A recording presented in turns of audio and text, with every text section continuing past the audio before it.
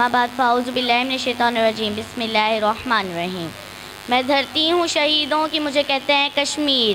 میں دھرتی ہوں شہیدوں کی، مجھے کہتے ہیں کشمیر۔ کتاب عشق ہوں صاحب موارچ شاہ کی ہیر۔ ہوئی رسوا یہاں ہوا کی بیٹی کئی بار۔ میں نے لاشوں کو بیٹوں کی اٹھایا ہے کئی بار۔ شہیدوں نے جو بنائی لہو سے میں وہ تصویر۔ میں دھرتی ہوں شہیدوں کی، مجھے کہتے ہیں کشمیر۔ جناب علی وقار محتم استاد زکرام اور میرے عزیز ساتھیوں، السلام علیکم۔ آج مجھے جس موضوع پر بات کرنے کا موقع ملا ہے وہ ہے کشمیر، پاکستان کی شہرک۔ کشمیر کے جو جنت نظیر ہے، زعفران اور چناروں کے درخت وہاں کی خوبصورتی میں چار چاند لگاتے تھے۔ کشمیر کے جہاں کا امن اور سکون مثالی ہوا کرتا تھا۔ کشمیر کے جہاں کے لوگ پیار اور محبت کرنے والے ہیں۔ کشمیر کے جسے قائد اعظم نے اسی بنا پر پاکستان کی شہر قرار دیا تھا۔ کشمیر کے جسے تقسیم ہندوستان کے وقت مسلمانوں کی اکثریت کی بنا پر پاکستان کا حصہ بنا تھا۔ کشمیر کے جسے اقوام متحدہ نے انیس سو سینتالیس سے حق کو آرادیہ دینے کا وعدہ کر رکھا ہے اور اس پر نو قراردادیں منظور کی جا چکی ہیں۔ وہی کشمیر جنت نظیر آج وہاں کا حال۔ یہ ہے کہ جہاں پریوں کی بستی بھیانک ٹینک چلتے ہیں، جہاں سرسبز کھیتوں میں لہو کی ندیاں بہتی ہیں، جہاں دہشت کا سایہ ہے، جہاں ہر جا جنازہ ہے۔ کبھی جو جنت دکھتا تھا، آج شمشان لگتا ہے۔ آج ہی میرے کشمیر کا حال ہے۔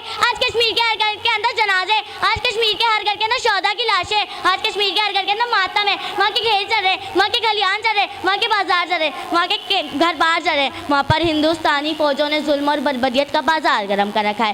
وہاں پر ایسی مائیں گھومتی نظر آئیں گی جو سڑکوں پہ، بازاروں پہ گھومتی نظر آتی ہیں، جن کے بچوں کو بھارتی فوجوں نے لاپتہ کر دیا ہے۔ اور اسی صدمے میں وہ اپنا ذہنی توازن کھو چکی ہیں۔ وہ ہر اس مسجد کے باہر جہاں نماز ہو رہی ہو، صدایں لگائیں کھڑی ہوتی ہیں کہ مولوی خدا کے لیے، مولوی خدا کے لیے، مولوی خدا کے لیے آپ اپنی نماز مختصر کر دیں تاکہ میرا بیٹا جو کئی سال پہلے نماز پڑھنے کے لیے گھر سے نکلا تھا، آج تک واپس نہیں آیا۔ آپ اپنی نماز ختم کر دیں تاکہ میرا بیٹا گھر واپس آ سکے۔ وہاں پر اس سے ظلم کا بازار گرم ہے۔ دوستو، یہ غور و فکر اور سوچنے کی بات ہے۔ کشمیری آخر یہ قربانیاں کیوں دے رہے ہیں؟ کشمیری جہاں ہندوستان سے آزادی کی جنگ لڑ رہے ہیں، ہندوستان سے آزادی چاہتے ہیں، اسلام کے قلعے پاکستان کا حصہ بننا چاہتے ہیں۔ وہیں دوسری طرف تکمیر پاکستان کی جنگ لڑ رہے ہیں۔ پاکستان آنے والے تمام دریا کشمیر سے نکلتے ہیں۔ اگر ہندوستانی دریاؤں کا پانی روک لے، تو ان میں صرف ریت اڑے گی، ویرانی ہوگی۔ اور پاکستان کے کھیتوں کھیلنے آمنے سبزیاں نہیں، اناج نہیں، پھل نہیں اگیں گے، بلکہ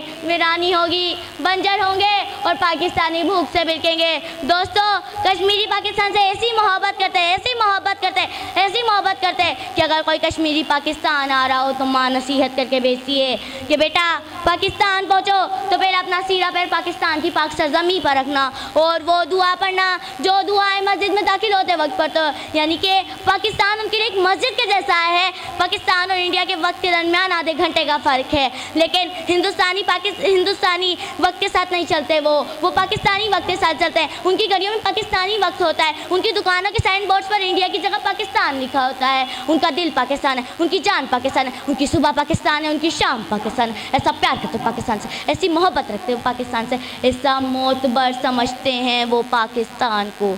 یاران جہاں کہتے ہیں کہ کشمیر ہے جنت یاران جہاں کہتے ہیں کہ کشمیر ہے جنت۔ جنت کسی کافر کو نہ ملی ہے، نہ ملے گی۔ دوستو، لیکن دوسری طرف آج میں اس پاکستان کو دیکھتی تو مجھے ہر طرف ہندوستانی ثقافت نظر آتی ہے۔ ہندوستانی گانے نظر آتے ہیں، ہندوستانی فلمیں نظر آتی ہندوستانی ہے اس بدلی ہوئی ثقافت کو دیکھ کر میرا سر شرم سے جھک گیا۔ دوستو، اگر واقعی اگر ہم کشمیریوں سے محبت کرتے ہیں، اگر واقعی اگر ہم کشمیریوں کا درد اپنے دل میں رکھتے ہیں، اگر واقعی اگر ہم کشمیر کو پاکستان کی شہرک سمجھتے ہیں، تو ہمیں سچے دل کے ساتھ ان کا ساتھ دینا چاہیے۔ ان کے ساتھ کھڑے ہونا چاہیے۔ ان کی آواز کے ساتھ اپنی آواز ملانی چاہیے۔ ہندوستانی جتنا ہی ظلم و ستم ان پر کر رہے ہیں، اتنی ہی شدت سے اس کی مذمت کرنی چاہیے۔ وہ پاکستان پاکستان کہتے ہی نہیں تھکتے۔ وہ پاکستان پاکستان کہتے ہی نہیں تھکتے۔ بڑھو بڑھو پتھرا نہ جائیں ان کی آنکھیں راستہ تکتے تکتے۔ بڑھو بڑھو پتھرا نہ جائیں ان کی آنکھیں راستہ تکتے تکتے۔ آخر میں میں یہی نعرہ لگانا چاہوں گی، کشمیر بنے گا۔ پاکستان!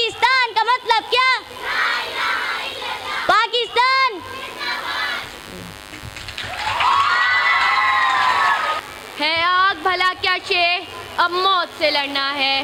ہے آگ، بھلا کیا شے؟ اب موت سے لڑنا ہے۔ اس دور کی عظمت کو پیغام یہ دینا ہے۔ اپنا ہے ازل سے جو کیسے تمہارا ہے۔ اپنا ہے ازل سے جو کیسے تمہارا ہے۔ کشمیر ہمارا ہے، کشمیر ہمارا ہے۔ صدر محفل اس درد بخت روشن کے خوشگوار ماحول میں، مجھے ایسے دردناک موضوع پر بولنے کا کہا گیا ہے، جس کا درد اور اذیت اس ہستے بستے ماحول کو افسردہ کر دے گا۔ کشمیر پاکستان کی شہر آگے۔ اسے میں اپنا موضوع کہوں، یہ اس ملک میں بسنے والے ہر فرد کی آواز کہوں۔ تڑپتے سسکتی ماں کی چیخوں پکار کہوں یا اپنے سامنے بہنوں کی عزت تار تار ہوتے ہوئے بے بس بھائی کی آواز کہوں۔ اس معصوم بیٹے کی آزداری کہوں، جس کے سامنے بھارتی درندے اس کی ماں کو نوچ دیتے ہیں، یا اس ضعیف باپ کی تڑپ کہوں، جس کے سامنے اس کے جگر کے ٹکڑے ٹکڑے کر دیے جاتے ہیں۔ ہاتھ میں پتھر لیے شہزادیاں کشمیر کی۔ ہاتھ میں پتھر لیے شہزادیاں کشمیر کی۔ ڈھونڈنے نکلی ہیں خدا آزادیاں کشمیر کی۔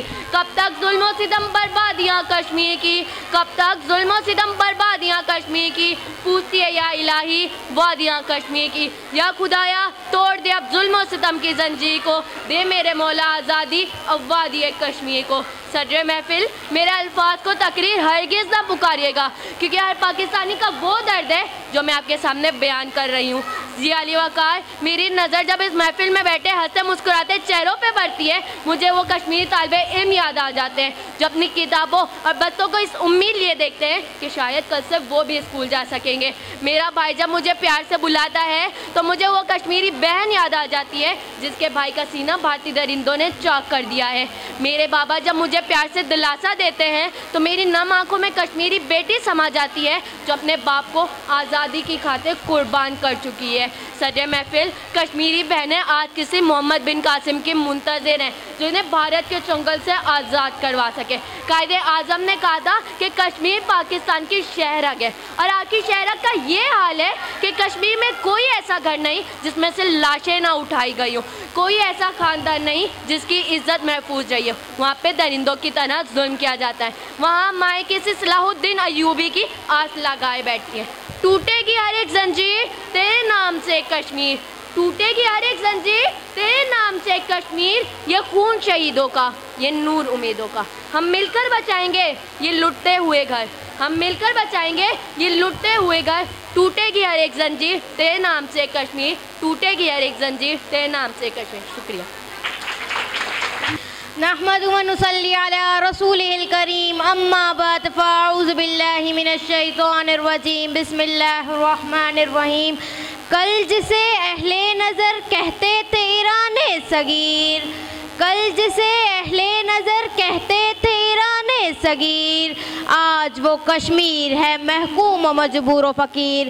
صدر علی وقار، مہمان گرامی اور حاضر محفل، آج کے اس بند قوت میں میرا موضوع سخن وہ عرض جنت ہے، جسے دنیا وادی کشمیر کے نام سے پکارتی ہے۔ بابا قوم کے خوبصورت الفاظ، کشمیر، پاکستان کی شہر ہے۔ میرا آج کا موضوع ٹھہرا ہے۔ جناب صدر، تاریخ شاہد اور زمانہ گواہ ہے کہ کشمیر پاکستان کی رگے خیرات ہے۔ ہمارے گراہوں کے مقبے کشمیر کی جنتوں سے پھولتے ہیں۔ کشمیر کے وہ خوبصورت پہاڑ، میری پاک وطن کی سرحدوں کا حصہ ہیں۔ اگر ان پانیوں کو ان کے مگوں میں رکھ دیا جائے تو پاکستان کی فصلیں اور کھیت سوکھے پڑ جائیں گے۔ بہاریں ہی تبدیل ہو جائیں گی اور کشمیر کے پہاڑوں کی لیں ٹوٹ جائیں گی۔ تو پاک وطن کی ایک ایک بستی دشمن کے نشانے میں آ جائے گی۔ اس کے لیے ضروری ہے کہ اپنے شہروں کو بچا لیا جائے، دشمن کے نشانے سے چھڑا لیا جائے۔